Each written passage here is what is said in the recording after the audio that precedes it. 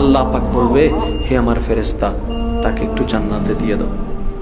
ফেরেস্তা বলবে, রব্বে করিম, গুনার পাহাড় তো বেশি, সওয়াব তো তেমন নাই। কি হিসেবে তাকে জান্নাত দিব? তখন আপনার আমার আল্লাহ কি বলছেন শুনুন।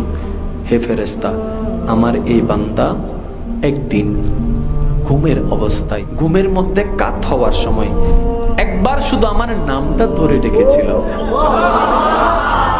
আর একটু জোরে। একটা বার শুধু এই ঘুমের ভিতরে ইচ্ছা করে না, স্মরণ করে না, এমনে, আল্লাহ, নামটা ধরে রেখেছিল। আমি আমার ভান্তার সেই দিনের আল্লাহ ডাকটা কবুল করে এক পাল্লায় দিলাম।